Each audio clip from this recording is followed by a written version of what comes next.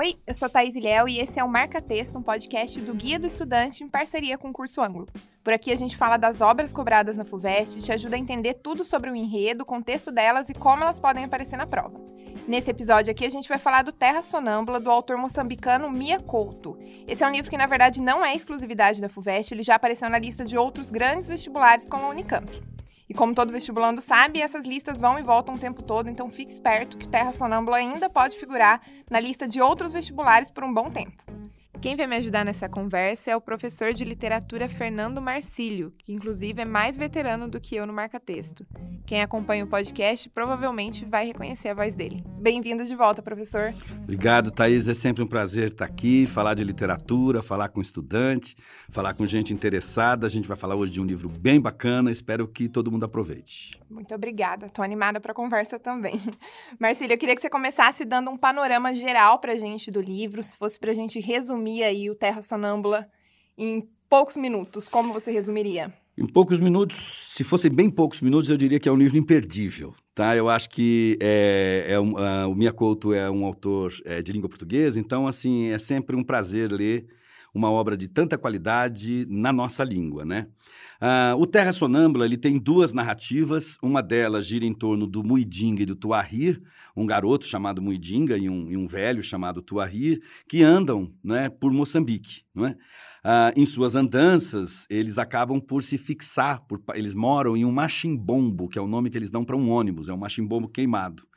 E o Muidinga, ele encontra, ao lado desse ônibus queimado, uma mala com os cadernos que são escritos por um garoto chamado Kinzu, né? um rapaz chamado Kinzu. E nós vamos acompanhar também a, a, segunda narrativa do livro, exatamente o diário do Kinzu, que é um garoto que abandonou a sua aldeia e a sua família para viver algumas aventuras. Então, é, é, é, isso é apresentado paralelamente no romance, e em linhas gerais é isso que nós temos no livro, Thaís. Legal. E para falar também do livro, a gente tem que falar antes do autor, né? O Mia Couto, ele é um escritor moçambicano, mas o que mais que a gente precisa saber dele além disso? Olha, o Mia Couto, ele é um cara muito interessante. Uma vez ele, ele disse numa entrevista, o nome dele é Antônio Emílio Leite Couto, né? Então, Mia é, é um apelido que ele usa. E ele disse uma vez numa entrevista que ele é sempre uma decepção, né? Porque quando falam Mia, esperam uma mulher e aparece um homem. Eu ia te falar isso, inclusive. Exato. Menção é. honrosa aqui pro repórter do Gui o Lucas, porque ele me falou que ele demorou muito tempo para descobrir que o Mia Couto era um homem, Exato. então uma mulher. É, é, um homem. E outra coisa, quando fala que ele é um escritor africano, né, todo uh -huh. mundo espera um negro, e ele é um homem branco, é verdade. né, o Mia Couto. É então, ele fala que ele é sempre decepcionante. Mas isso é uma brincadeira, o Mia Couto nunca é decepcionante. Ele é um dos grandes escritores da língua portuguesa da atualidade, como eu disse, e ele é biólogo de formação, ele trabalha, inclusive, com biologia, Uh, mas ele, ele se destacou mesmo no jornalismo, desde os anos 80, não é? Ele, ele é parte de uma, de uma geração lá de, de Moçambique, de escritores moçambicanos, que começou a fazer uma pesquisa sobre a linguagem mesmo, sabe? Sobre a descoberta de, uma, de, de um estilo, de uma escrita que fosse uma escrita é, localizada, moçambicana, um português, porque a língua oficial deles é o português, mas um português de Moçambique. Então ele tem produzido obras fantásticas, ele é um escritor bastante produtivo, então vale sempre muito a pena a, a acompanhar a, a, obra do Miyakoto. E ele é um cara que se envolveu bastante na luta contra o colonialismo, né, contra a, a, a, presença portuguesa no país, mas sem uma marca muito panfletária na obra dele, o que eu acho muito atraente também. Então, é um escritor muito interessante. Tá, e aí já aproveitando, falando um pouquinho do Mia Couto também, os vestibulares, eles costumam cobrar que os, os estudantes, eles situem os autores né, das obras dentro de alguns movimentos literários, dentro de escolas. O Mia Couto, ele cabe dentro de alguma escola literária? Olha, ele, ele não cabe exatamente dentro de uma, de uma escola literária específica, Thaís, no sentido de, ah, o Machado de Assis é realista, ou o José de Alencar é romântico, o, Gregório de Matos é barroco. É, dentro de, numa definição de escola literária, de estética tão bem colocada assim, a gente não consegue enquadrar o Miyakoto. Mas é possível perceber alguns traços do estilo dele, entendeu? Isso eu acho interessante, que é você é, é, ligá-lo a uma tendência é uma corrente da literatura que se chama realismo fantástico. O realismo fantástico, ele é ele representa uma um tipo de narrativa que narra com naturalidade que conta com naturalidade as coisas mais absurdas, entendeu? De tal maneira a enquadrar essas coisas absurdas na própria narrativa, né? Então, ele lida muito bem com isso e ele trabalha dentro dessa linha. Essa é uma linha é, é, que vai é, beber muito nas fontes da cultura popular, isso a gente verifica. O realismo fantástico, ele aparece, por exemplo, muito fortemente na América Latina não é, é, o grande nome do realismo fantástico latino-americano é um escritor chamado Gabriel Garcia Marques e um livro dele chamado Cem Anos de Solidão, que é uma, que é uma obra-prima. Obra é uma obra maravilhosa da literatura latino-americana. E é uma obra em que essas coisas acontecem, que o absurdo acontece, que as pessoas voam, entende? De repente, assim. E isso é visto com certa naturalidade. No livro do Miyakoto, no Terra Sonâmbula, eh, nem sempre é visto com naturalidade essas coisas surpreendentes que acontecem no enredo. Nem todas as personagens reagem com naturalidade. E essa seria um pouco uma diferença do Miyakoto em relação a esse realismo fantástico mais, mais tradicional. Mas, de toda maneira, quer dizer, o, a, a, presença de personagens que são simbólicas, que são alegóricas, a presença de, de, de ações inverossímeis, não é? sem, sem, sem uma base real, mas que são enquadradas na narrativa de maneira muito natural, eu acho que isso é, nos habilita a, no mínimo, associar o nome dele, do Miyakoto, a, ao realismo fantástico. Então, não é uma escola literária, mas é, é, é, é, enfim, é uma tendência. Né? Na África, você tem um autor como Ondiak, que é um cara de Angola, maravilhoso também. Ele também envereda pelo, pelo realismo fantástico, num livro dele, por exemplo, chamado Quantas Madrugadas Tem a Noite. É, e no Brasil, tem dois autores que, que, que flertam, né, que namoram com esse estilo. Um é o Murilo Rubião, é, com o pirotécnico Zacarias, por exemplo, que é um livro de contos dele, em que você tem uma série de, de narrativas também é, que, que, em que o, o nonsense, o absurdo, é integrado à lógica e à naturalidade da narração. E nós temos também o Érico Veríssimo, né, um conhecido escritor lá do Sul, é, que escreveu um livro chamado Incidente, Incidente Antares. Incidente Antares também envereda pelo realismo fantástico, né, mostra é, mortos que não são enterrados porque há uma greve de coveiros numa cidade e esses mortos simplesmente saem dos seus caixões e vão até a praça central da cidade acusar alguns moradores de algumas coisas. É um livro maravilhoso também. Então, é, é, acho que a gente pode enquadrar o Miyakoto dentro desse realismo fantástico.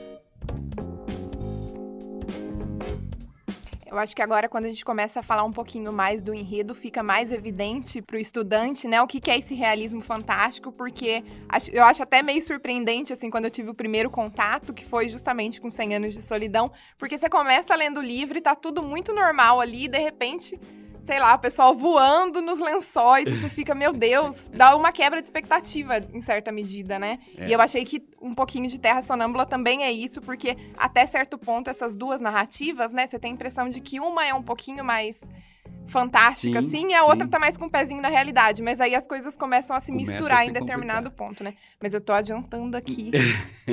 Vamos pelo início, então. É. Para quem tá começando, acho que é bom a gente deixar o alerta aqui, como você disse no início, que são duas narrativas, né? Então é um isso. enredo um pouquinho complicado, com duas camadas. Isso. Então a gente tem que ter bastante cuidado aí, atenção na hora de contar um pouquinho. E no final tem um plot twist que eu adorei, gente. Sério, fiquei chocada. A gente vai poder contar esse plot twist no final? Claro. É bom. estragar a surpresa. É alerta de spoiler, né? Alerta de spoiler, com certeza. Quem não quiser saber, tem que parar ali no finalzinho e ler o livro. Mas aí eu te passo a palavra, Marcílio, se você quiser começar contando aí deixa, pra gente. Deixa eu começar dizendo o seguinte, Thaís. É, quando a gente fala que, que numa narrativa você tem coisas absurdas acontecendo, é preciso que a gente entenda o que, que é absurdo. Eu quero dizer o seguinte: é, por que, que o realismo fantástico fez tanto sucesso ou deu tão certo na América Latina? Porque, em vários aspectos, a realidade da América Latina é absurda entendeu? Então, de uma certa maneira, uh, o realismo fantástico serve de alerta para o leitor. Uh, ah, então a pessoa saiu voando pela janela. Bom, você acha isso absurdo, mas um, um Estado opressor você não acha absurdo? Uma situação de, de, de, desigualdade social você também não acha absurdo? Então, o realismo fantástico deu muito certo na América Latina por isso. Então, eu acho que para a gente começar a entender esse realismo fantástico, é preciso contextualizar historicamente um pouquinho a, a, a né, o, de que país, que, que, que, Moçambique é esse de que ele está falando. Então, a, o livro do, do Miyakoto foi publicado em 1992, tá? E como é que estava Moçambique nessa época? Bom, Moçambique é, foi descoberta por portugueses, descoberta é bom, né? Foi, os portugueses chegaram, invadiram Moçambique, assim como invadiram o Brasil, uh, isso eles fizeram no século XV, não é? Uh, e desde então, quer dizer, e, e, a partir de então eles se mantiveram uh, dominantes naquele país. A gente tem que entender que a colonização portuguesa ela é extremamente violenta, extremamente racista e extremamente é, é, é, é, incompetente, não é? Os portugueses eles não tinham uma, uma, uma, uma competência muito grande na administração, então eles vão ser tanto mais violentos quanto incompetentes serão uh, e racistas também serão. Então, uh, uh, isso vai durar muitos séculos em Moçambique, né? do século XV até, até o século XX. Em meados do século XX, começam, ou seja, por volta de 1940, 50, começam a surgir movimentos de libertação Entende? Que são, isso não acontece só em Moçambique, acontece em vários países da África em relação a vários domínios estrangeiros, não é? Ah, e começam a surgir movimentos de libertação. E ah, ah, ah, nós tivemos, então, o estouro da guerra colonial, que foi a guerra de resistência à presença portuguesa em Moçambique. Nós tivemos de 1965 a 1975 tá bom? Ah, os moçambicanos conseguiram a sua independência em 1975, em 25 de junho de 75. E, e essa data, ela é importante no livro. Eu estou dizendo ela aqui porque 25 de junho é uma data que tem um sentido no livro, né? Como a gente vai ver. Uh, e aí, o que, que aconteceu? Bom, acabou a dominação portuguesa, encontrou-se a paz e Moçambique viveu feliz para sempre. Infelizmente, não. Também aconteceu o mesmo processo em Angola, que também foi dominada pelos portugueses e também conseguiu a sua independência mais ou menos nessa mesma época. Logo depois da independência, nós tivemos uma grande disputa pelo poder. Então, nós vamos ter uma guerra civil que em Moçambique vai durar de 75 até 91. Então, é, é, é, e, e, aí o, o Miyakoto publica o livro dele em 92. Então, a, a primeira coisa que a gente tem que entender, nós estamos falando de um país que foi vítima de uma exploração violenta e cruel durante séculos, não são semanas, não são meses, são séculos. E depois dessa dominação violenta, esse país passou por uma guerra colonial, uma guerra de luta contra o invasor português, o invasor europeu. E depois dessa guerra, passou por uma guerra civil. Então, o Moçambique de 92, é, a existência de Moçambique já é um absurdo em 92. Não tem nada. É uma terra arrasada. E não, e, e não é apenas do ponto de vista econômico, ou político, ou social, é também do ponto de vista cultural. A cultura moçambicana está arrasada. E outra coisa, quando o moçambicano se pergunta quem sou eu, qual é a resposta que ele dá em 1992? Qual é a identidade que essa pessoa tem, que esse indivíduo tem em 1992? Eu sou o quê? Eu sou português? Não, eu sou africano, mas como? Meu inimigo é, é, é, é Portugal, mas, mas como? Eu falo português. Então, meu inimigo é, é África, mas como? Eu sou da África. Meu inimigo é, é, meu irmão, porque ele é de uma outra tribo, então, porque foi isso que aconteceu na Guerra Civil. Então, é um país em busca da sua própria identidade.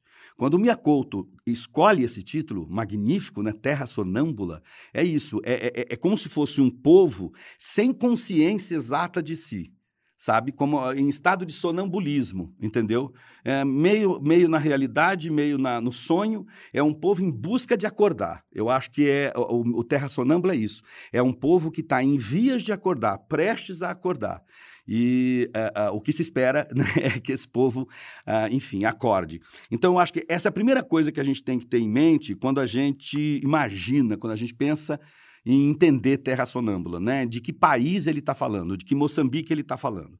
Você tem du duas narrativas, não é? Você tem um narrador em primeira pessoa, que é o Kinzo, o autor dos cadernos que são encontrados pelo Muidinga, e você tem um narrador em terceira pessoa, que não é parte da história e que conta a história do Muidinga e do Tuahir. Eu queria deixar claro que essas histórias correm paralelas no romance, entendeu? Ou seja, você tem um capítulo que tem o Kinzo como uh, uh, uh, protagonista, depois você tem um capítulo que tem o Muidinga como protagonista, depois volta para o Kinzo, volta para o Muidinga. Mas para minha exposição aqui, eu acho melhor a gente dar uma separada, tá bom? Então eu vou primeiro falar sobre os cadernos do Kinzo. O que, que o Kinzo conta nesses seus cadernos que são encontrados pelo Muidinga?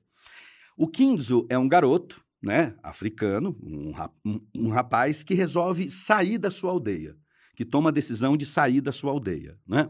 Essa saída da aldeia é, é, um processo de desenraizamento, ou seja, ele vai abandonar as suas raízes. Mas o que a gente vai percebendo na trajetória do Quinzo é que não é só um abandono de raízes. Na verdade, ele está em busca de novas raízes, tá bom? Ou seja, ele está em busca de uma identidade. E aí eu quero lembrar o país em que essa história está acontecendo. É também um país em busca da sua identidade, em busca de, desse autoconhecimento. Então, nessa busca de novas identidades, o, o, o Kinzo faz uma escolha. Ele resolve sair da aldeia dele porque ele quer se tornar um Naparama. O que, que é um Naparama? É um guerreiro, mas é um guerreiro que luta pela paz. E esse é um dado essencial. É, os, é, aqueles que estão participando da Guerra Civil, não é? O romance publicado logo depois do fim da Guerra Civil, ele na verdade é, se passa durante essa Guerra Civil, né? Aqueles que são participantes, eles são chamados de fazedores da guerra. E, e, e, e, é isso. Tem uma coisa muito interessante aqui, Thaís, que é o seguinte: existem muitos romances de Moçambique, de Angola, que tratam da guerra civil desses países, mas quase sempre assumindo um lado. Né? Assumindo o lado daqueles que fizeram essa ou aquela opção política. Para o Miyakoto, eu acho muito interessante em Terra Sonâmbula, porque o Miyakoto assume o lado, quer dizer, explicita o lado da população moçambicana. E para a população moçambicana, não interessa se o, o, guerreiro X é de tal facção política ou de tal tribo, e o guerreiro Y é de tal facção política e de, de tal tribo, porque ambos trazem a guerra, trazem a violência, trazem a dor.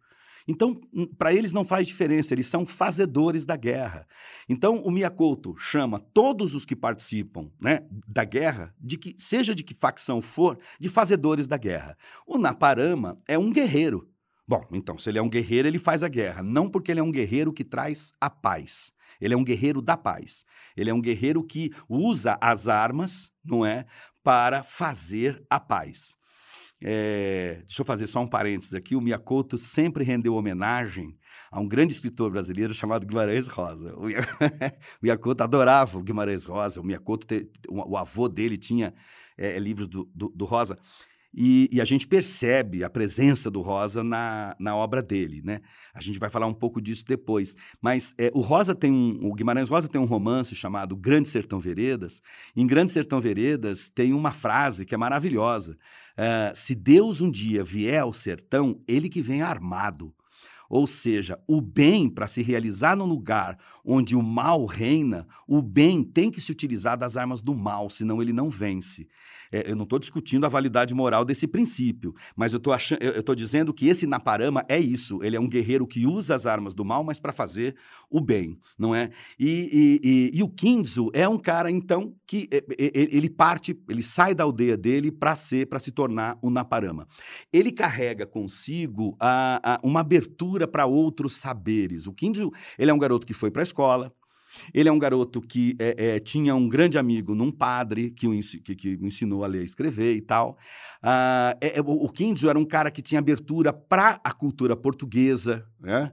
É, não, não, vamos nos esquecer que o romance passa na África. Então, ele, ele tinha essa abertura para outros saberes. Isso vai ser muito importante para aquilo que ele vai significar no final da história. Né? Na sua viagem, né, no, na busca de se tornar o Naparama, o Quinzo encontra uma mulher, uma mulher chamada Farida. Né?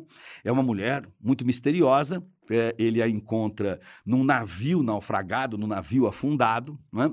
envolve-se com ela, inclusive sexualmente, uh, apaixona-se por ela, enfim, eles têm lá um envolvimento, e ela conta a história dela para ele. Ela era uma mulher é, que tinha sido violentada por um português chamado Romão Pinto, né? Ele a violentou e dessa violência, né, desse estupro, nasce um garoto chamado Gaspar, que, portanto, é um mestiço, filho de um homem branco com uma mulher é, negra, que é a Farida. Uh, e uh, a Farida, ela, num certo momento, ela entregou esse filho numa missão religiosa. Ela não quis, ela teve medo de ficar com o filho e entregou numa missão religiosa. E ela pede ao Kinzo não é, que encontre o seu filho, tá bom? Então, o Kinzo, é, ele vai ter duas missões. A primeira missão, tornar-se o Naparama, E a segunda missão, encontrar o filho, o filho de, de, de Farida, encontrar o Gaspar. É, na sua procura, ele vai descobrir que uh, uh, uh, o, o Gaspar tinha estado numa, numa missão religiosa, mas ele fugiu dessa missão e fugiu exatamente quando a Farida voltou para essa missão, tentando reencontrá-lo. Quando o Gaspar viu que a mãe queria reencontrar, ele fugiu. Ele foi então é, para um campo de deslocados, como é chamado no romance, e é um campo de refugiados, como nós diríamos hoje, né? Esses campos de refugiados de pessoas que estão tentando fugir da guerra mesmo. O, o chega a, a, a, descobrir em qual campo de refugiados ele tinha ido, só que ele descobre também que ele foi transferido para um outro campo de refugiados. E aí já não, ele já não sabia mais que campo de refugiados era, já não sabia mais para onde o Kinzo, o, o Gaspar, o filho da Farida, tinha ido. Então ele perde a pista do Gaspar. Ele não, é, é ele, não, ele não, se, não consegue encontrar o Gaspar. Nessa busca, o Kinzo ainda vai encontrar uma outra pessoa, vai se envolver com uma mulher chamada Carolinda não é? E que ele vai descobrir que é a irmã da Farida, tá bom? Numa, em mais uma dessas coincidências é, meio loucas do, do romance. Então, por enquanto, vamos deixar a história do Quinzo nesse ponto, tá bom?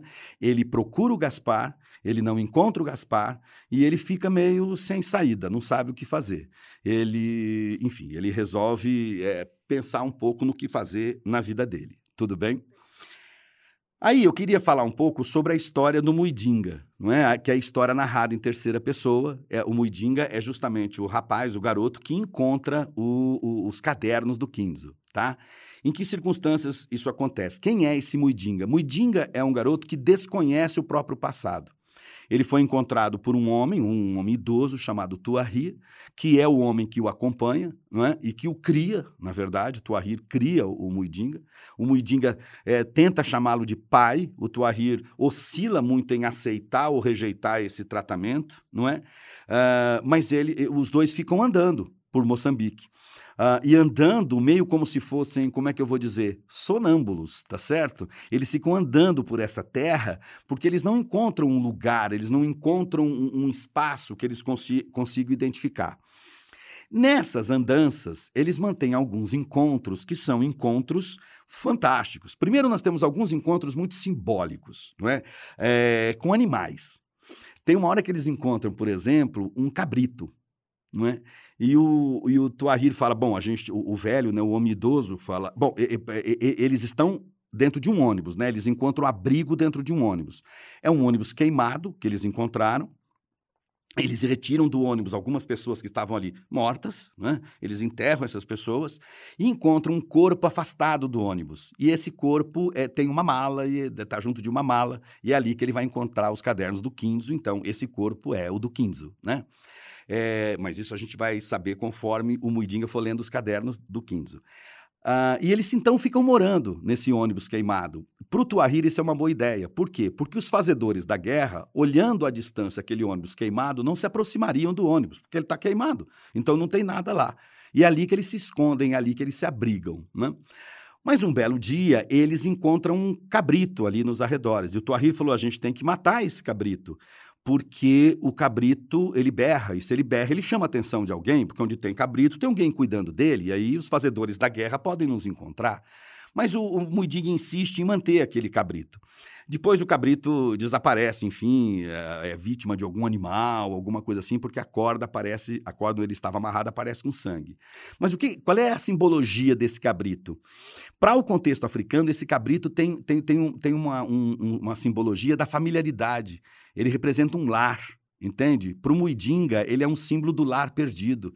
O esforço para manter o cabrito é um esforço para manter o lar, que ele não tem, né? O Muidinga tá, ele perdeu a sua identidade, ele está desmemoriado, ele não sabe quem ele é. O nome dele, inclusive, não é Muidinga. É, ele não sabe como é que é o nome dele. Muidinga era o nome de um filho do Tuahir e o Tuahir o batizou com aquele nome. E o Mudinga não sabe quem ele é. Então, de uma certa maneira, a, a, imagem do cabrito é a imagem da familiaridade. E o fato desse cabrito ter desaparecido é, né, e ter deixado uma corda com sangue é sinal de que o, o, a, o corte a, de ligação do Mudinga com a sua família também pode ter se dado de maneira sangrenta, como acontecia com, com todos na guerra. E uma outra, um outro encontro com um animal que é sensacional é com um elefante. Isso é, isso é maravilhoso. Um elefante, é, é, o elefante passa perto de onde eles estão e é um elefante ferido, não é? E o narrador faz um, um, um comentário. É, eu vou ler aqui um trechinho, tá bom? Duas linhas. Aquele elefante se perdendo pelos matos é a imagem da terra sangrando, séculos inteiros moribundando na savana. Então, esse imenso animal sangrando é uma, é, simbolicamente, é a própria imagem de Moçambique, de Moçambique sangrando também, entendeu? E que passa por eles. Então, é, é, é, todos esses encontros são carregados de simbologia, entende, Thaís? Não são encontros casuais. E tem também os encontros, três encontros que eles mantêm com pessoas fantásticas. É aí que a gente tem aquele realismo fantástico a que eu me referi.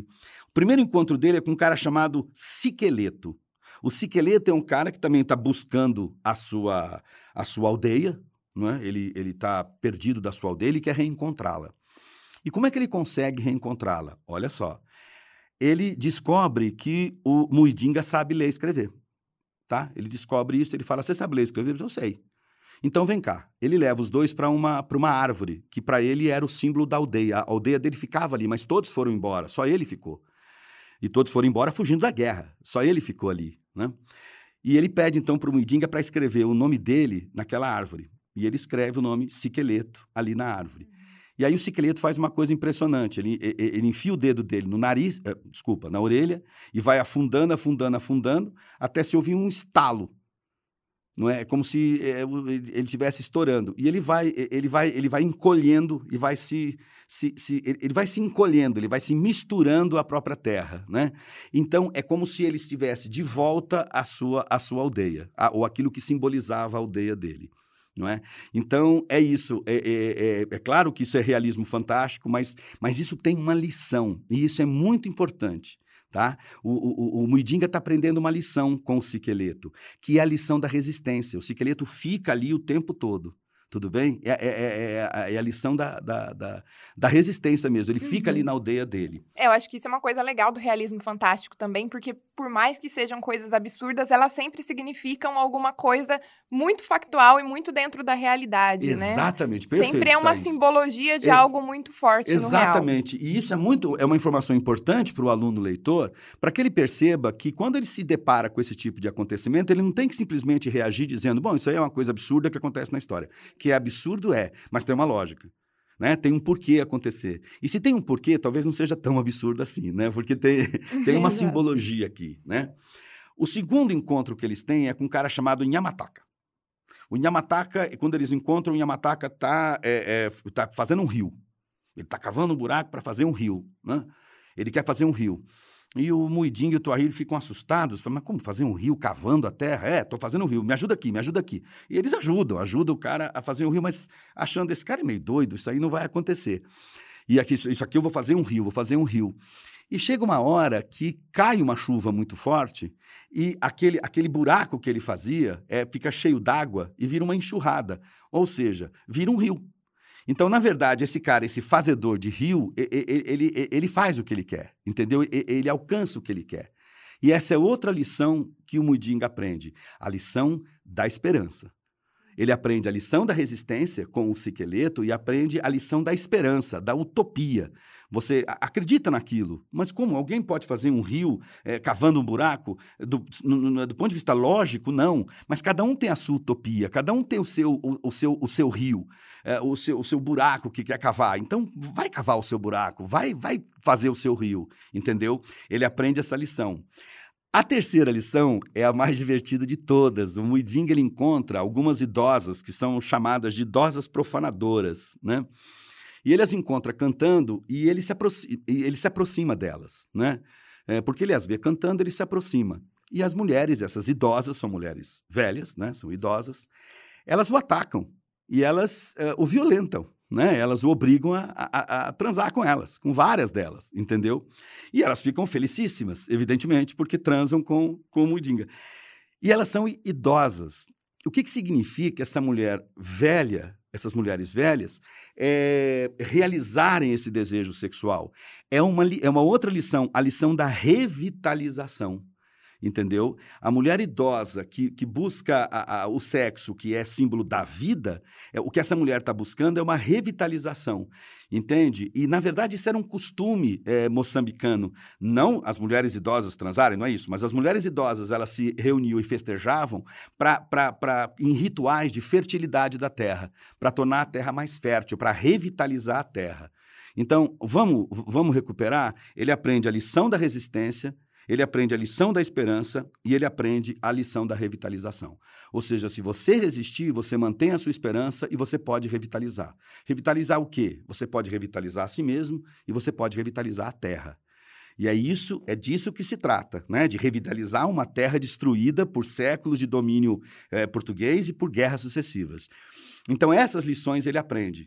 Então o Muidinga aprende lições percorrendo os caminhos com o Tuahir, e ele aprende as lições que estão no caderno do Kinzo que ele está, que ele está lendo. Tudo bem? Então, uh, o, o, saber com o qual ele entra em contato nesses encontros fantásticos com o elefante, com o cabrito, com o esqueleto, é o saber popular moçambicano, entendeu? Ele entra em contato com o conhecimento é, da terra moçambicana. O saber com o qual ele entra em contato através dos cadernos do Quinzo é um saber também moçambicano, mas é também um saber português, porque o Quinzo, ele tinha essa abertura para o conhecimento do português, entende? Então, essa, essa, essa, é, é, esses saberes todos vão ser utilizados utilizados é, pelo, pelo, é, pelo romance, não é para construir a personalidade do Muidinga. Então, uhum. Então, quem que é o Muidinga? É alguém que está aprendendo com a cultura local, cultura popular moçambicana, mas também está aprendendo com a cultura portuguesa. Beleza. Tá chegando, hein? Tá chegando. O momento. tá chegando o momento. Tem uma hora, então, que, uh, o, o, como nós vimos, o Quinzo é, é tem duas missões. Eu vou voltar um pouco à história do Quinto. Como é que nós deixamos o Muidinga? O Muidinga, ele, a, a, história dele termina até aqui, da, da, termina da seguinte maneira: o Tuahir, o velho, pede que ele o leve até um rio, porque o Tuahir percebe que está morrendo. E nesse rio, o Tuahir pede para o Kinzo colocá-lo, o Muidinga colocá-lo num bote, num barco, e deixar ele ser levado pelo rio. O Tuahir morre. Então o Muidinga fica sozinho, tá bom? O Muidinga fica so, solitário. Bom, e daí? O que acontece? Como é que nós deixamos o Quinzo? Nós deixamos o Quinzo sem encontrar o Gaspar, o filho da Farida, porque ele perdeu, enfim, não sabia onde é que estava o Gaspar. É, e aí, então, ele, ele, ele, ele tem que cumprir as duas missões dele, né? Ele tem que cumprir a missão de se tornar um Naparama e tem que cumprir a missão de encontrar o Gaspar. E ele fala, bom, fracassei nas duas, né? Porque não consegui nenhuma coisa nem outra, acabou a história para mim. Só que ele tem um sonho, e nesse sonho, ele revê o irmão dele. O irmão dele era um garoto chamado 25 de junho, que é justamente a data da independência moçambicana. 25 de junho. E é, é, só um sonho, mas o 25 de junho ele tinha sido afastado da família para não ser roubado pelos fazedores da guerra e ser obrigado a servir como soldado. Ele tinha sido afastado da família. É, mas o Kinzo, é, é, é ele, ele né, sonha com o irmão e sonha que o irmão está sendo ameaçado e ele sonha que ele, Kinzo, é, é, adquire poderes de um Naparama. Então, de uma certa maneira, de uma maneira simbólica, ele salva o irmão, que, cujo nome tem a ver com a data da independência moçambicana. Então, é, o, simbolicamente falando, ele está, de uma certa maneira, salvando a terra moçambicana dos seus invasores, porque quem ameaça o, o 25 de junho são, são os invasores brancos. De certa forma, ele cumpriu essa missão. Ele se tornou na Parama, mesmo que seja num plano, é, enfim, é, é, do sonho, num mundo onírico. Muito bem, mas a segunda missão não, né? Porque ele não encontra o Gaspar. Pois é, ele, ele não encontra o Gaspar e desiste de encontrar, de encontrar o Gaspar. Ele pega um ônibus, resolve pegar um ônibus, coloca os cadernos dele numa mala e resolve pegar um ônibus e ir embora daquele lugar onde ele estava esse ônibus é, pega fogo e bate numa árvore, né? E, e os seus cadernos se espalham, né? E, e ele ainda vê entre sonho e realidade, é, no delírio entre vida e morte, ele ainda vê um rapaz se aproximar é, da sua mala, não é, e pegar os seus cadernos. A gente sabe quem é esse rapaz, é o Muidinga. Mas o Kinzo olha para ele e o chama por um nome, Gaspar, e o Muidinga Na atende, verdade. atende, é, olha, quer dizer, sente que tem alguma coisa ali. Então, a gente descobre no final, esse é o, né? O, o grande plot o twist. Grande plot a gente descobre que o Muiding é o Gaspar. E uh, ele representa, portanto, a identidade nacional moçambicana em construção. A proposta do livro é exatamente essa. A Moçambique vai se construir, vai se reconstruir a partir desses saberes todos que virão da cultura popular moçambicana, não é que o Muidinga conhece, não é, com a, as suas andanças, mas também virão da cultura portuguesa, é, que ele apreende através dos cadernos do Quinzo. E é isso, é, é, no fundo, o que esse livro representa. É um livro muito doloroso, muito dolorido, muito triste, mas é um livro que abre para uma mensagem de esperança, que é a reconstrução nacional, a reconstrução de Moçambique. É isso, Thaís. Não sei se e... falei demais. Não, imagina. Mas uma percepção que eu tive, assim, é que no final das contas ele também se torna um guerreiro na Parama à medida que ele encontra o Gaspar, né? Então, no final das contas, ele teve esse grande propósito de ser alguém que, que busca ali a paz em meio, em meio à guerra, né? Não vamos esquecer, você tem toda a razão. Não vamos esquecer que esse Gaspar, que é um muidinga, que representa a identidade nacional, ele é um mestiço. Sim. Ele é filho de um homem branco com uma mulher negra. Quer dizer, parece que o livro está propondo: olha, essa mestiçagem pode ser também uma salvação. Essa mestiçagem pode. A gente pode construir uma identidade nacional a partir dela. Não é? Então é isso mesmo. Eu acho que o que o que o Mudinga, que o, que o Kinzo cumpre essa missão. Ele se, ele realmente é um Naparama. Ele vira um guerreiro da paz porque ele encontra alguém que pode significar, simbolizar essa paz. Legal. E aí eu vou até aproveitar esse gancho que eu ia pedir para a gente fazer agora um balanço aí com quais são os grandes temas dessa obra.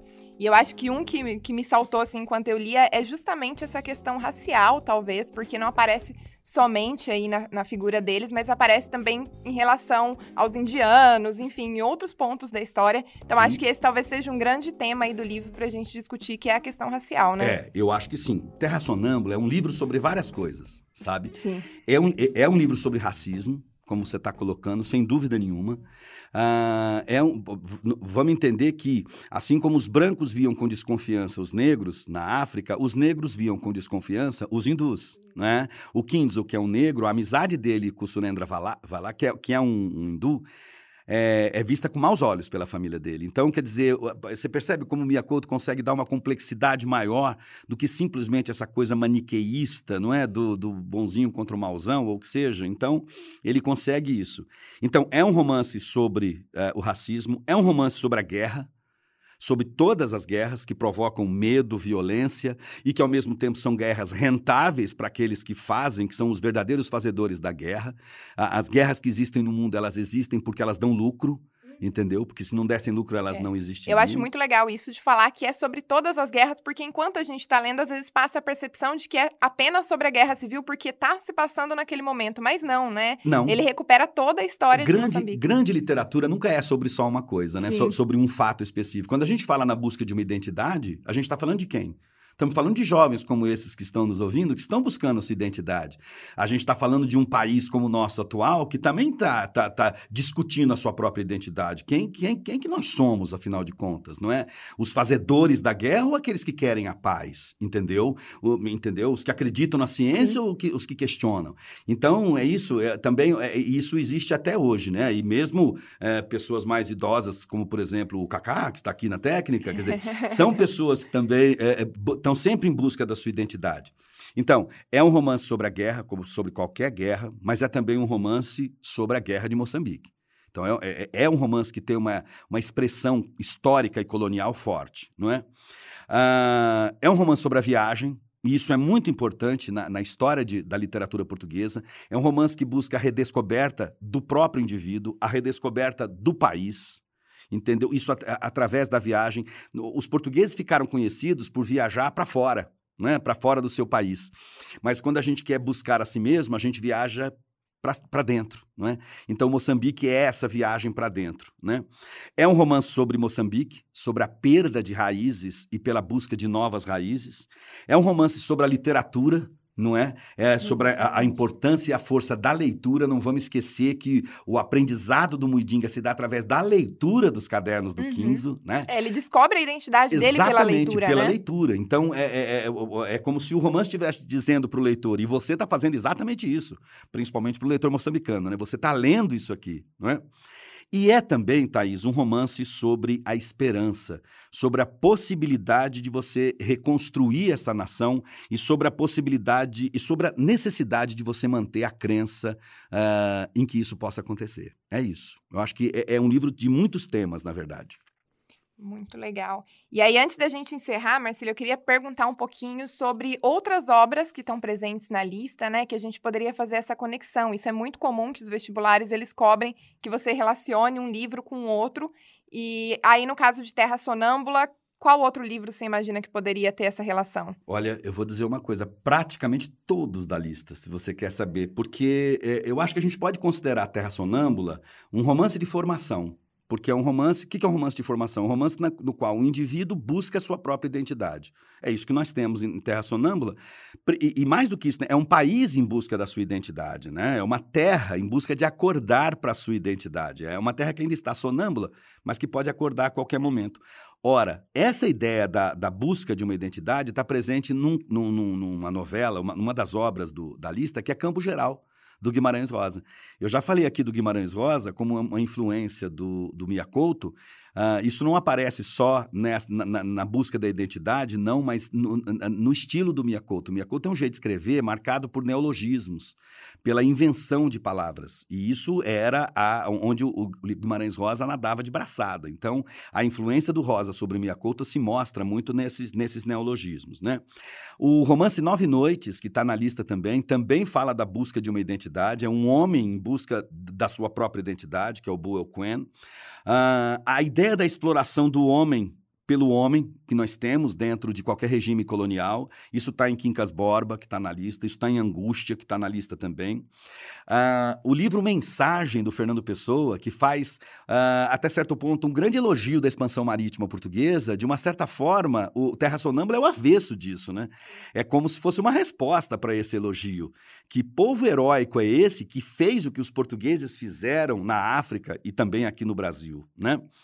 Uh, a busca de uma identidade nacional, nós temos isso em alguma poesia, por exemplo, de certa forma. Uh, um, um romance sobre a viagem, Mensagem, eu, eu, disse aqui que Terra Sonâmbula é um romance sobre a viagem. Mensagem fala de viagens dos portugueses.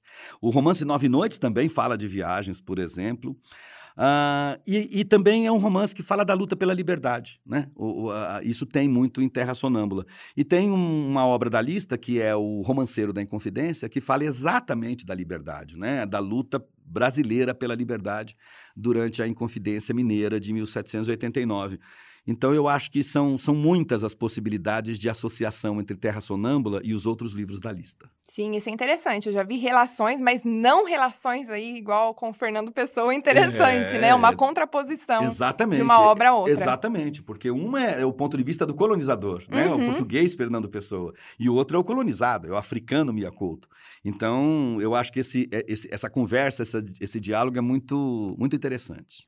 Perfeito, professor. Então, para a gente encerrar, queria deixar o espaço aberto para você fazer algum comentário, alguma outra coisa que você acha que é interessante o estudante estar atento aí quando, for, quando a gente fala de terra sonâmbula. Olha, eu acho que eu já falei até demais, viu, Thaís? É que esse livro me entusiasma muito, como qualquer coisa que diga respeito à literatura. Mas eu só queria lembrar uma coisa para me despedir. Hoje, Moçambique está vivendo situações muito complicadas. Novamente, guerras internas, novamente, disputas dentro do país, novamente, populações fugindo da guerra. Quer dizer, o, o Miyakoto escreveu um livro em 92 que, em 2021, ele está muito atual, o que é muito doloroso. Mas também é, é, é, nos faz pensar é, que a, a, a, luta pela liberdade, né, essa é a grande lição. Quer dizer, o Mudinga aprende muitas lições, não é? O, o Gaspar aprende muitas lições. Eu acho que essa é a lição lição que o livro deixa. A luta pela liberdade ela é constante. Ela não, ela não é, a liberdade não se conquista a, a, apenas. Ela tem que ser sustentada, ela tem que ser mantida. E os moçambicanos estão enfrentando isso de novo e eu tenho certeza que eles vão nos dar novas lições. Um, muito obrigado, Thaís, pela Imagina. oportunidade. Foi muito bom. Nossa conversa sobre o Terra Sonâmbula fica por aqui, mas você pode encontrar os outros episódios do Marca Texto nos principais agregadores de podcast. Até a próxima e boas provas!